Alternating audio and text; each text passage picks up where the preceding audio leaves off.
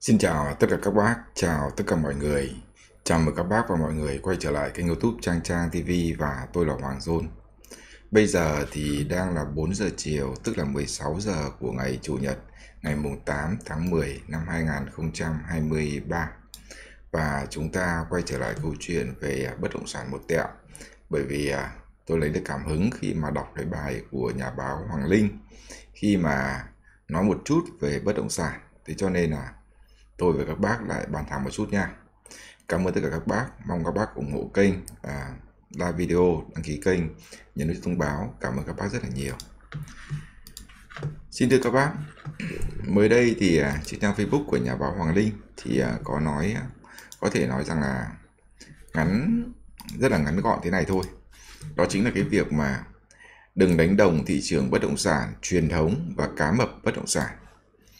Thị trường bất động sản truyền thống, nhà trong dân, dân bán cho dân thì vẫn ấm lạnh bình thường. Còn thị trường bất động sản hoạt động như chiếu bạc của các ông lớn bất động sản thì sẽ như thế nào và liệu nó có giống như Evergrande của ông hàng xóm? Ở đoạn này thì nhà báo Hoàng Linh đã ví cái bất động sản thành hai phần. Một là thị trường bất động sản truyền thống, như là tôi bán cho các bác, các bác bán cho người nào đó. À, chúng ta hay gọi cái chỗ này nó gọi là thị trường thứ cấp còn à, thị trường bất động sản à, như chiếu bạc của các ông lớn bất động sản á, thì thì thì ví dụ như các tập đoàn tổ chức dựng khu đô thị vân vân nọ kia đó. Thì um, như thế nào? Đúng không đây ví dụ giờ giống như Evergrande của ông hàng xóm. Thì Evergrande là vỡ nợ 300 tỷ cuối năm 2021 nhưng Trung Quốc đã để Evergrande tự cứu mình. Evergrande thì xin gia hạn nợ trái phiếu để tái cấu trúc. Nhà đầu tư buộc lòng phải chấp nhận.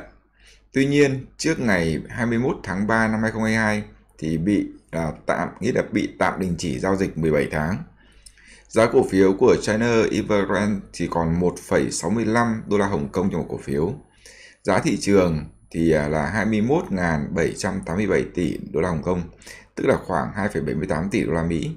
Và so với khối nợ là 300 tỷ đô la Mỹ thì chỉ tương ứng là bằng 1%. Ngày 28 tháng 8 năm 2023 thì cổ phiếu Evergrande thì tái giao dịch với cái giá là 22 sen Hồng Kông.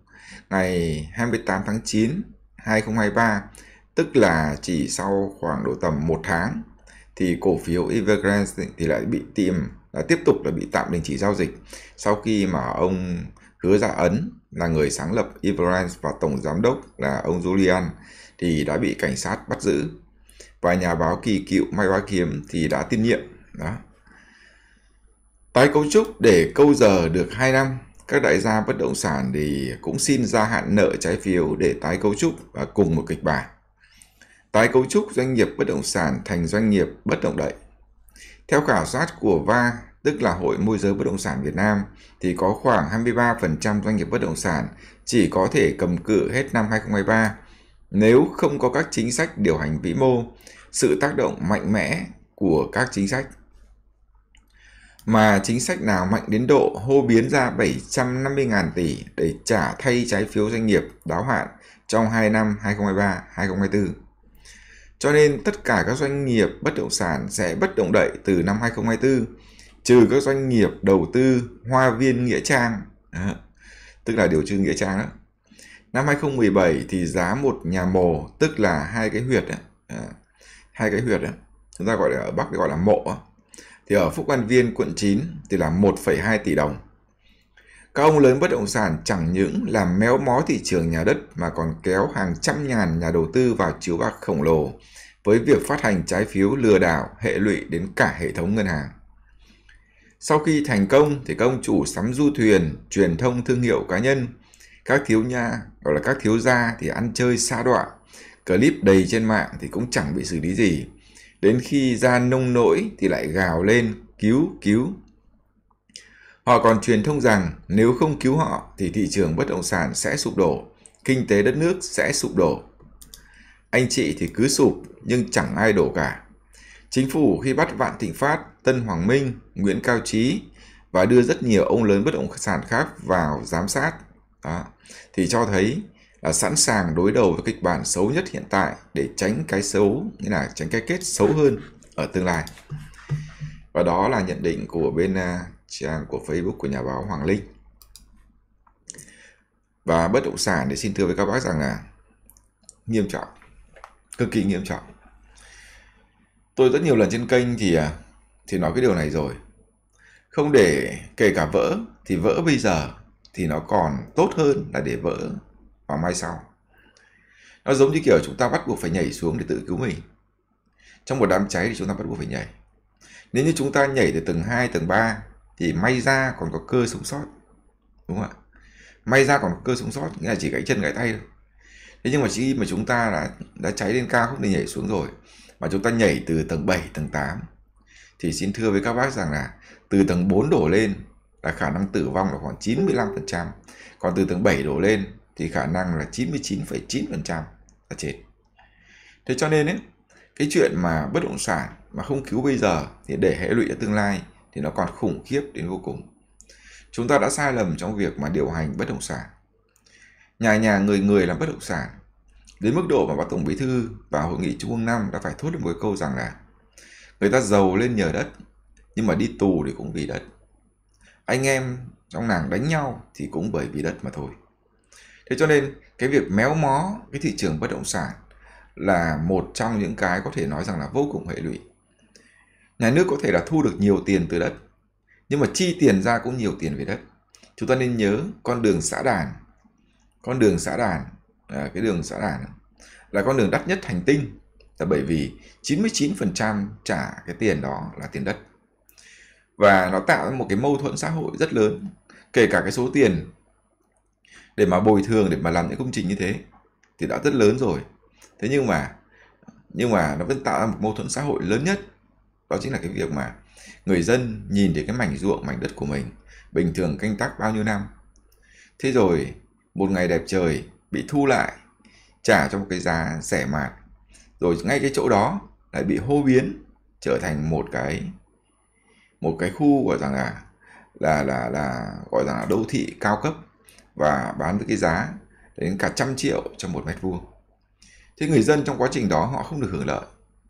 Thì người ta bất mãn thì có đúng hay không? Tự các vị đã trả lời rõ cái điều này. Có thể thu được một chút tiền, tăng được một chút gdp thế nhưng mà cái mất đi là mất đi cái sự ổn định và cái sự hạnh phúc của người dân. Đây là cái chúng ta nhìn thấy trước mắt, ảnh hưởng ngay lập tức. Còn cái lâu dài thì có thể nói rằng như tôi nói nếu không giải cứu thì ngã từ tầng 7 xuống. Và như là nhà báo Hoàng Linh nói thì là như một cái sới bạc. Đó như một cái sới bạc. Và nguồn lực quốc gia đã bị đổ vào đó. Đừng nói tại sao chúng ta không có nhiều sản phẩm. Bởi vì nhà nhà người người làm sản phẩm. Anh làm nhựa cũng làm sản phẩm. Anh làm bánh kẹo à, anh làm nhựa thì cũng làm bất động sản. Anh làm anh làm gọi là bánh kẹo cũng bán công ty đi để làm bất động sản. Anh làm thép cũng chuẩn bị làm bất động sản. Anh làm ô tô cũng chuẩn bị làm bất động sản. Nhà nhà, người người người ta làm bất động sản. Và thế là cuối cùng của ngày đẹp trời là người ta cứ nghĩ rằng à cứ đầu tư, cứ có tiền là có sự phát triển. Nhưng họ không hiểu. Một nền kinh tế tri thức, một nền mà người ta phải đào sâu từ ông chủ tịch hội đồng quản trị. Các thành viên hội đồng quản trị, đến ban tổng giám đốc phải vắt hết cái trí tuệ của mình ra để phát triển cái sản phẩm dịch vụ của mình. Lúc đó chúng ta mới có thể rằng ra thế giới được. Còn không thì là cũng sẽ mãi mãi nằm ở tầm ao làng thôi. Đừng nghĩ là khi mình sinh ra có lời, thấy rằng là các sản phẩm của mình, hả, cái này khó nói. Nhưng mà xin thưa với các bác, đó là sự thật. Chúng ta rất hiếm khi chúng ta thấy là một công ty chuyên về công nghệ lại đi làm một cái liên quan đến bất động sản hay là ngân hàng đúng không? Chúng ta cũng rất hiếm thấy ở nước ngoài một cái công ty chuyên làm về công nghiệp như là gia đình cốc à, thì lại đi sở hữu những công ty bất động sản. Chúng ta cũng rất hiếm thấy một cái nhãn hiệu kẹo đúng không? Kẹo ma của của của của của của, của Hoa Kỳ tại đi sở hữu các tòa building. Hầu như không ai làm thế cả. Đó. Cho nên ấy, cái chúng ta cần là chúng ta cần phải giám sát lại cái thị trường bất động sản này để nguồn vốn nó sẽ chảy về đúng cái chỗ để mà đất nước phát triển một cách bền vững.